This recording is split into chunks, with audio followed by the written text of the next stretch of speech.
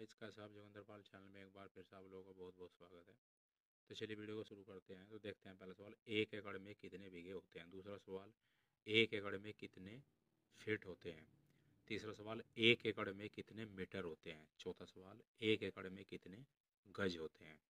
पाँचवा सवाल और अंतिम सवाल है, एक एकड़ में कितनी कड़ियाँ होती हैं?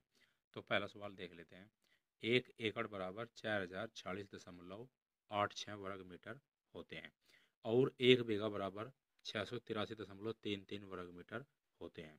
तो एक एकड़ में बीघे होंगे बराबर चार हज़ार चालीस दशमलव आठ छः बटे छः सौ तिरासी दशमलव तीन तीन बराबर पाँच दशमलव नौ दो बीघे होंगे। ये पहले सवाल का आंसर। दूसरा सवाल, एक एकड़ बराबर चार हज़ार चालीस दशमलव आठ छः वर्ग मीटर होते हैं। तो एक एकड़ में फिट होंगे बराबर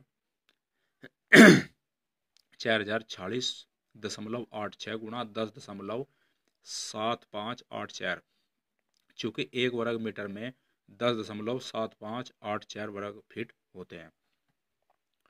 तो ये हो जाएगा आपका मल्टीप्लाई करके तैतालीस हज़ार पाँच सौ सैंतीस दशमलव सात चार वर्ग फीट होते हैं। नेक्स्ट सवाल एक एकड़ बराबर चार हज़ार छियालीस दशमलव आठ छः वर्ग मीटर होते हैं।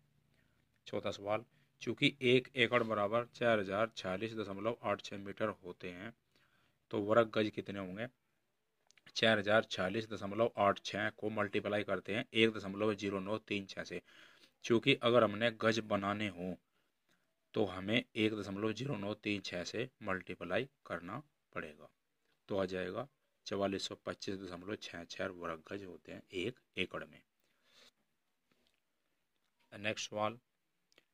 एक एकड़ बराबर चार हज़ार छियालीस दशमलव आठ छः वर्ग मीटर होते हैं और एक वर्ग मीटर जो होता है वो पाँच दशमलव पाँच गुणा पाँच बराबर पच्चीस वर्ग कड़ियों का होता है। यानी पाँच गुणा पाँच होती हैं उसमें कड़ियाँ क्योंकि बीस सेंटीमीटर की एक कड़ी होती है और एक मीटर बराबर सौ सेंटीमीटर होते हैं।